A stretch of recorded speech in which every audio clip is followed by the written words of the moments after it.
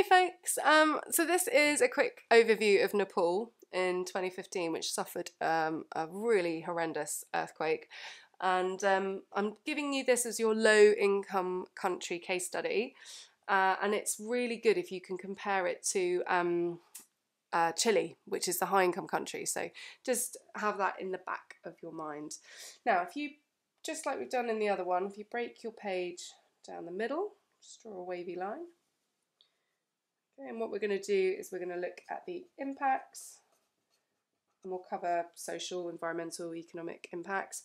We'll look at the immediate responses over here. We'll do that in a minute. Um, and those are the first things in sort of the first 24 to 48 hours. What was done to kind of help. Okay, and we'll also look at the long term responses and those those can be years, and in this case, it was uh, many years. Okay, so key information: Nepal, beautiful country. Um, if you're climbing Everest, you'll go there. Um, absolutely stunning, up in the area of the Himalayas. Um, and what happened was it had a 7.9 magnitude earthquake. Okay, so it's a big quake um, by any standards. And unfortunately, Nepal is a low income country. It's full of culture, it's rich in really lovely people and wonderful place, but it is a lower income country. Um, so it's actually, let's put it up here, it's 145th out of 187 for its Human Development Index ranking. So that's not just based on wealth, um, but it is largely. Um, and it looks at things like literacy rate and access to doctors. Um, so yeah, so it's a one of our lower income countries.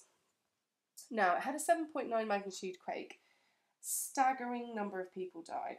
Okay, um, and were affected. Let's start with who was affected. Eight million.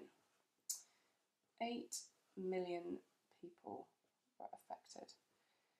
Um, and that's because it extended over quite a large area, and people, not just in the city of Kathmandu, but others out in the hillsides were affected as well. Um, 20,000 people uh, were injured, okay, so needed hospital treatment or a doctor to see them. And this this was really shocking. Nine thousand people um, died. Okay, nine thousand. So that's a really shocking death toll and that brought its own issues as well. Now, all the usual things happened that happened with an earthquake. The ground shook, um, but because it was um, because it was near Everest, it also caused an avalanche, um, and it also caused a great deal of damage for the buildings. So if we start by just we'll just draw some buildings now. They really were like this. Okay, they were on their sides, like collapsed, leaning. Crushed, crumbled.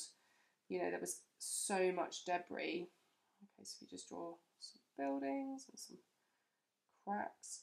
It was just shocking, like a like a pack of cards that had come crumbling down. Buildings were leaning on their sides, um, and the cost of rebuilding was five billion dollars. Okay, that was just to repair um, and rebuild a really big number. And that's a really big number when you're in a low income country. I know the cost in Chile was like 30 billion, but the buildings were more expensive. So, um, really expensive economic cost, but the social cost I think we can argue, argue is you know higher. Um, so let's get our mountains in there now. So remember, it's up in the Alps. Um, draw a couple of mountains like that. We can put some snow on them. There we go. Um, so at the time of the earthquake, there were people who were trying to reach the top of Everest. Um, every year, lots of people, many, many people go to base camp, and many people go further up the mountain.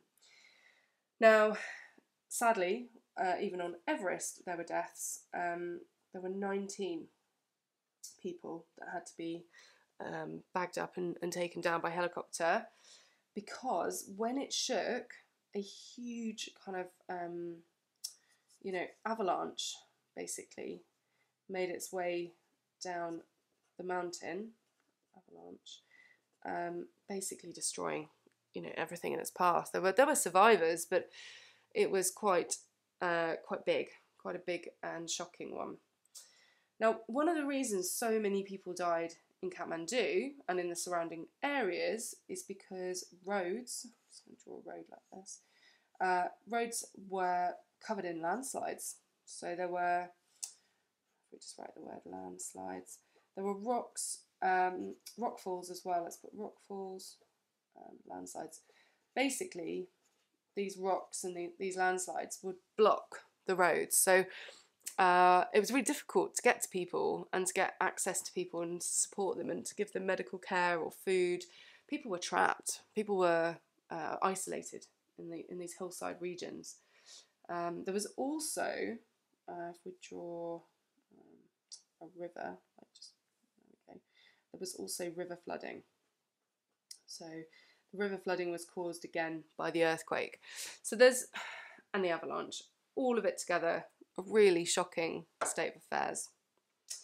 Now, the difficulty wasn't just the earthquake, the difficulty was the wealth of the country and its responses. Now, they didn't have money to sort things out straight away like they did in Chile, so they had to rely, if you draw a big truck, um, okay, um, they had to rely on uh, what we call NGOs. Okay, now an NGO is a non governmental governmental organization. Such as as soon as I say this you'll go oh okay the Red Cross. Okay? So it's like a charity. They're not part of the government but they're there to help. Okay? And what they did was they brought in supplies. Okay? Like lots of supplies. Um, things like uh, food shelter um, medical equipment, you know, you name it, they brought it. But it did take time, you know, it wasn't quick, it wasn't easy to get in quickly. But there were things like food, uh, medical, people as well, water, clean water. Um, so all those things were brought in just to basically help help people survive. Um, but this was from other countries you know, search and rescue teams as well. They came in from China, you know, um, and other nations because Nepal didn't have those kind of people available. There was even um, a highly experienced search and rescue team from the UK, from Portsmouth, that went there. So they came from other countries, other nations it was a huge, huge news, and everybody you know, wanted to help and wanted to get involved. Now, longer term, okay, so this this process of rebuild and recovery has taken a really, really long time. Um, the search and rescue efforts went on for a very, very long time. Um, let's start with uh, aid. I, I myself donated, so yeah, it's uh, it's something that you know everybody around the world could hear about and get involved with. So aid is money that's given from other nations, okay? So aid from other countries helped in repairing things and rebuilding because actually quite a good proportion of the economy comes from tourism. So they really needed to get back up and running so that they could keep uh, allowing visitors to come and stay and get involved, okay? So things like, um, you know, these, these access roads to remote villages were able to be repaired, okay, and landslides cleared. Um, they had many, many search and rescue efforts. Now, I'm really bad at this. I don't know why I try and draw these. I'm going to try. So let's remember those mountains. Now, much of Nepal is hilly like this, and there are remote villages, and they were uh, they were getting dropped goods and things by I think the American Air Force got involved. Um, so there were all sorts of uh, aid efforts, um, as well as search and rescue. And this this went on for years. This went on for a, a good amount of time. Um, so we want to kind of draw. This. I want to always say I'm really bad at this, but honestly, this is hard. Helicopter. Okay, maybe like this. Mm. I don't know. Let's do that. Uh, yeah. So helicopters. Let's put helicopter drops of food and medicine went on yeah for you know into the longer term you know weeks months and into the years later so there you go there's a quick uh, overview of nepal. And remember they might ask you about the responses they might ask you about the opportunity um sorry not opportunities the impacts or the responses. They could even get you to compare this to a high income country like chile